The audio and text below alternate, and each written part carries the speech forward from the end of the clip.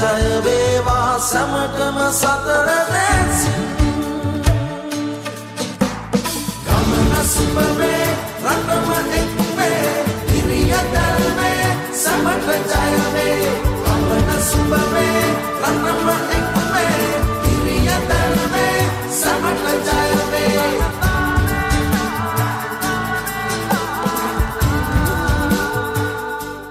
හබරාතුවේ පැවති ජනරැලියකට එක්වෙමින් සජිත් ප්‍රේමදාස මහතා මේ බව කියා සිටියා.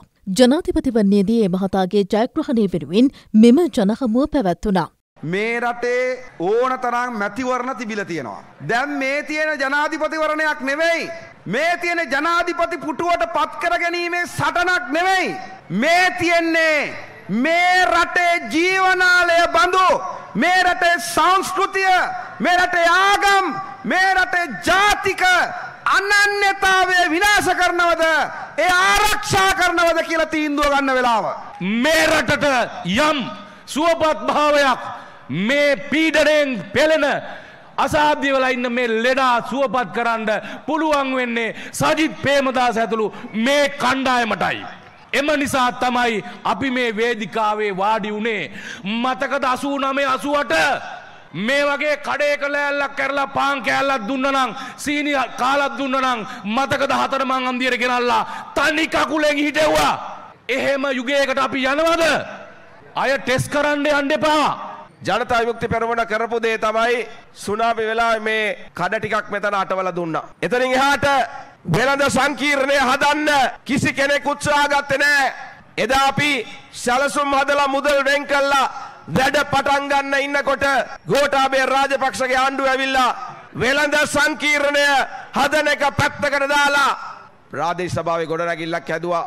මම අද ඔබට අපේ නායකතුමා ඉදිරියේ කියනවා ඒ නැවතුණු තැනෙන් හබරාදුවේ සංචාරක පුරවරයක් හැටියට ඒ ගෙන යන වැඩපිළිවෙල ආරම්භ කරනවා.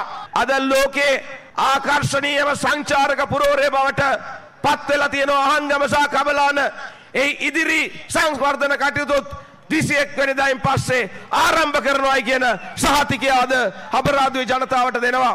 අනිවාර්යෙන්ම කෙටි කාලයක් තුල අපි අපේ මාතෘ භූමිය ගොඩ ගන්නවා.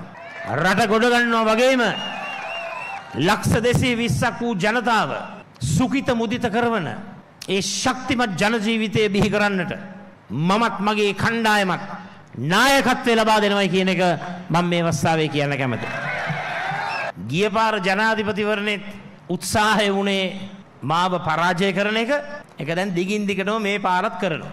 රනිල් වික්‍රමසිංහ මහත්මයා අනුර කුමාර දිසානායක මහත්මයා දෙගොල්ලක් නෙවෙයි. දැන් එක දේශපාලන කල්ලියක්.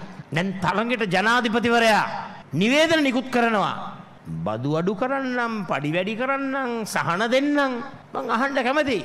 අඩුම ගානේ ඔබට තිබුණා නේද මේ වසරේ මුලදිවත් මේ සහන ටික ලබා දෙන්න. 21 වෙනිදා ඔබ ලබා දෙන ජනවරම තුල ආර්ථික වර්ධනය තුලින් අපේ රටත් ගොඩ ගන්නවා ගාලු දිස්ත්‍රික්කයත් ගොඩ ගන්නවා හබලාදුවත් ගොඩ ගන්නවායි කියන එක මේ අවස්ථාවේ කියන්න කැමතියි. මම අහන්න කැමති අනුර කුමාර දිසානායකගෙන් අද ජයවර්ධනපුර විශ්වවිද්‍යාලයේ වහලා තියන්නේ කවුරු ක්‍රියාත්මක කරපු ම්ලේච්ඡත්වයන් නිසාද? මේ වගේ දේශපාලන සංස්කෘතියක් නිර්මාණය කරන්නද ඔබගේ අදහස? ඒ නිසා අනුර කුමාර දිසානායකට මම පැහැදිලිව එකක් කියනවා. අටවන කිසිම උගුලකට මේ රටේ ජනතාව මෙදා පාර රැවටෙන්නේ නැතයි කියන එක මම මේ අවස්ථාවේ ප්‍රකාශ කරනවා.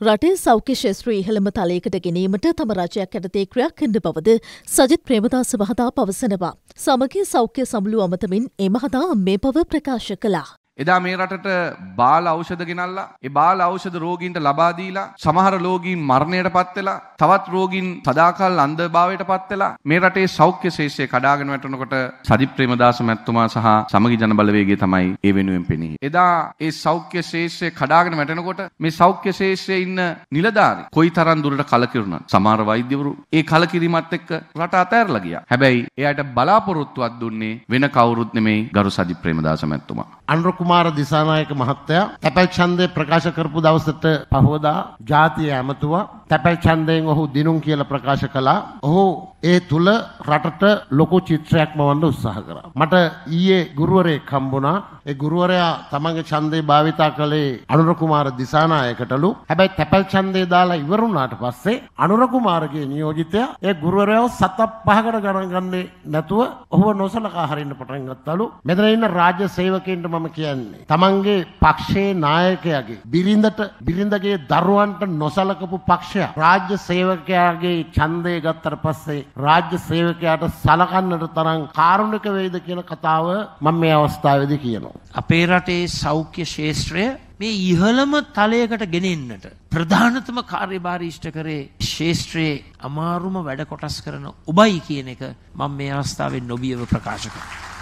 ඒ සියලුම තලයන්වල සේවයේ නිරත වී සිටින ඔබගේ අභිමානය ආත්ම තෘප්තිය සේවා පහසුකම් ඒ වගේම තෘප්තිමත් රාජ්‍ය සේවාවකට ඔබව යොමු කිරීම සඳහා අපට ගත හැකි උපරිම පියවර අපි අරගෙන තිබෙනවා.